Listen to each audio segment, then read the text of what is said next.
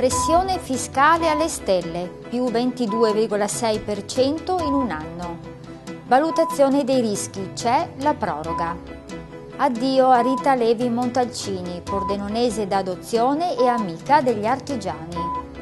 Un grazie agli artigiani storici della provincia. L'ANAP lancia la festa dei nonni e nipoti.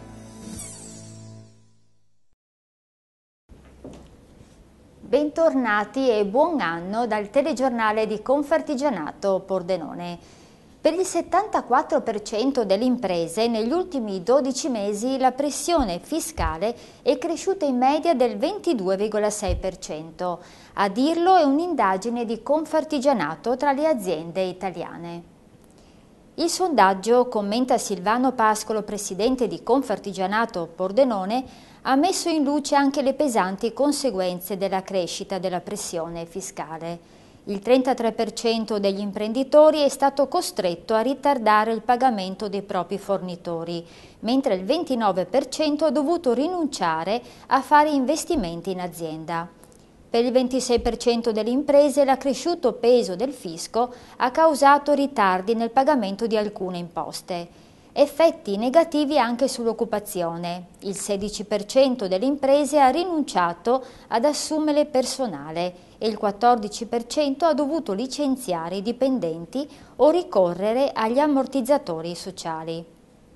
In più, per fare il proprio dovere di contribuente, il 58% degli intervistati ha dovuto ricorrere a prestiti bancari o è stato costretto a chiedere al fisco dilazioni di pagamento per non parlare di qualche decina di migliaia di imprenditori che non hanno potuto pagare le imposte per mancanza di liquidità.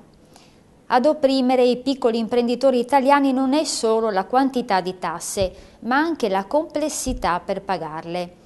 Il sondaggio ha rilevato che per il 57% degli intervistati sono aumentati anche gli adempimenti burocratici in campo fiscale, soltanto il 2% ha indicato una diminuzione. Una rilevazione che conferma quanto denunciamo da tempo a proposito dell'impennata della pressione fiscale sul sistema produttivo, prosegue Pascolo, pressione rilevabile dalla crescita delle entrate fiscali nel 2012, che hanno raggiunto il 44,7% del PIL con un aumento di 2,2 punti in un solo anno. Se vogliamo ritrovare la strada per uscire dalla crisi, conclude Pascolo, è indispensabile intervenire per ridurre la pressione fiscale sulle imprese.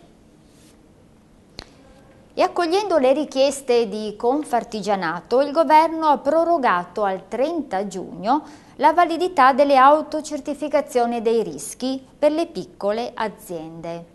La norma è stata inserita nel decreto stabilità ed era stata più volte sollecitata da Confartigianato ed è quella che imponeva a tutte le imprese di effettuare la valutazione dei rischi in luogo dell'autocertificazione entro la fine dello scorso anno. Adempimento impossibile da rispettare, ricorda Silvano Pascolo, presidente di Confartigianato Pordenone, tanto che avevamo espressamente richiesto al governo di rimodulare quella scadenza e a ridosso del 31 dicembre è arrivata la proroga che fissa al 30 giugno 2013 il termine di scadenza. Le imprese sotto i 10 lavoratori potranno dunque avvalersi dell'autocertificazione fino alla fine di giugno 2013. Solo dal 1 luglio sarà obbligatorio per tutti dotarsi di documento di valutazione dei rischi le aziende sotto i 10 lavoratori e quelle fino a 50 potranno elaborare la valutazione dei rischi sulla base delle procedure semplificate. Nulla cambia per le aziende sopra i 50 lavoratori che non sono coinvolte dalle recenti modifiche normative. E a 103 anni si è spenta Rita Levi Montalcini, scienziata premio Nobel per la medicina, ma anche cittadina onoraria di Pordenone. Grazie a Confartigianato Pordenone e all'indimenticabile segretario Maurizio Lucchetta, che invitarono in città questa piccola grande donna, offrendo anche una sede per la sua associazione. Credo di poter dire che anche il mondo artigiano ha perso molto con la scomparsa di Rita Levi Montalcini, che è stata amica della nostra associazione e degli artigiani. Il cordoglio per la morte della scienziata è stato espresso dal presidente di Confartigianato Pordenone Silvano Pascolo, che ha ricordato la figura di questa piccola, grande donna, dallo spirito indomabile che ha lavorato praticamente fino agli ultimi istanti di vita. A Pordenone Rita Levi Montalcini venne più volte grazie a Maurizio Lucchetta, che la invitò in occasione di un convegno sulla festa della donna. Fu sempre lui, insieme al presidente della Camera di Commercio Augusto Antonucci, a gettare le basi perché Pordenone ospitasse una sede dell'associazione da lei fondata a sostegno dei giovani. Grazie al legame che si creò tra Pordenone e la scienziata, a Rita Levi Montalcini venne concessa la cittadinanza onoraria nel 2002. Lucchetta amava moltissimo questa grande donna, ricorda ancora Pascolo, esempio di tenacia e determinazione, forza e grazia. Una donna esempio per altre donne, aveva sottolineato Maria Pasini, all'epoca presidente delle donne artigiane pordenonesi e commissaria regionale delle pari opportunità, nel suo discorso di saluto al premio Nobel. e piccolo segno di riconoscenza da parte dell'associazione ad alcuni storici artigiani che hanno fatto la storia di questa provincia. Un attestato di merito e una targa sono stati consegnati dal presidente Silvano Pascolo ad Enzo Michelazzi, titolare della omonima azienda di impiantistica, ed anche a Oscar Camerotto, oggi in pensione. È il nostro modo di rendere omaggio a questi imprenditori artigiani che tanto hanno fatto sia per la città che per l'economia del territorio, formando generazioni di lavoratori e anche di altri imprenditori. In occasione dei 40 anni dell'ANAP, l'Associazione Artigiani e Pensionati di Confartigianato, ecco una nuova iniziativa.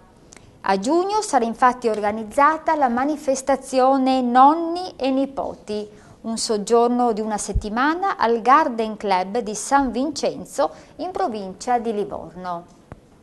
Il periodo è quello del 15-22 giugno 2013, 7 giorni, 8 notti e la formula prevede la possibilità di partecipazione anche dei nipoti ad un prezzo vantaggioso. La quota di adesione è di 510 euro a persona in camera doppia. Sono previsti supplementi per le camere singole e riduzioni per il terzo e quarto letto. Il bambino in culla verrà ospitato gratuitamente. Per i bambini da 3 a 13 anni è richiesto un contributo di 120 euro. Le camere disponibili sono 200 e verranno assegnate in ordine di prenotazione entro il 31 gennaio. Da qui la necessità, se interessati, di darne comunicazione quanto prima. Ulteriori informazioni sono disponibili in sede dell'associazione in via dell'Artigliere a Pordenone, dove si raccolgono le adesioni. Ed è tutto per il telegiornale. A risentirci alla prossima edizione, grazie per l'attenzione. Arrivederci.